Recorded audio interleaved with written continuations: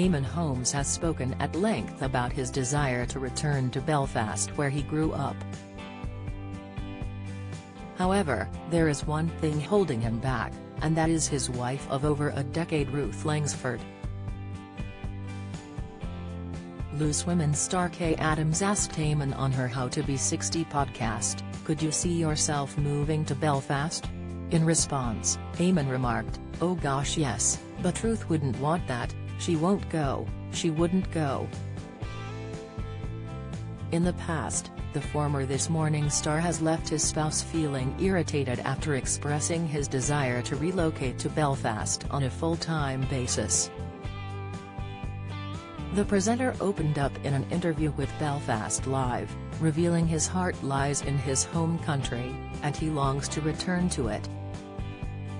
Eamonn admitted that part of the reason behind his desire to move is that he misses his family. Reflecting on his reasons for remaining in England in his Surrey home so far, Eamonn said, Ruth is now on her own with her mother. She's got to be here, and we've got family commitments and work commitments, we've got a stretch of water that keeps us apart.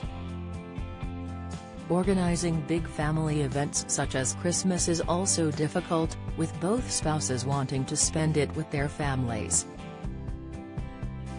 Eamonn admitted that trying to get it right is very complicated. The star went on to share that Ruth gets very irritated with him for claiming their house in Surrey isn't home for him. When asked where home is, Eamonn admitted, well, it's not Surrey.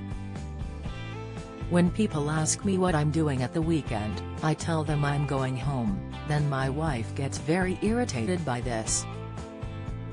She says, this is your home. Don't miss, and I say, no Ruth, this is where I work, this is where I have to be, but home.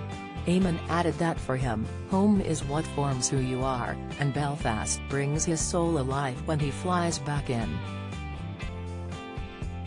Eamonn finally admitted that he only remains in England due to work commitments, saying, if that work was in Northern Ireland, then I'd be in Northern Ireland.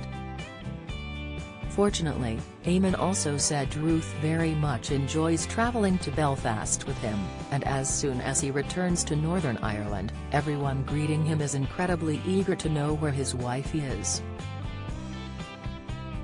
Previously, Eamonn has spoken about his very close family during an interview on The Journey with Pete Snodden. He said, I make no bones of it, I would live in Belfast again tomorrow, I have a home in Belfast. You know if I could, I would, that's where I would be, that's where I intend to end up. Eamonn then described how he had lived with homesickness since leaving his family there in the 80s.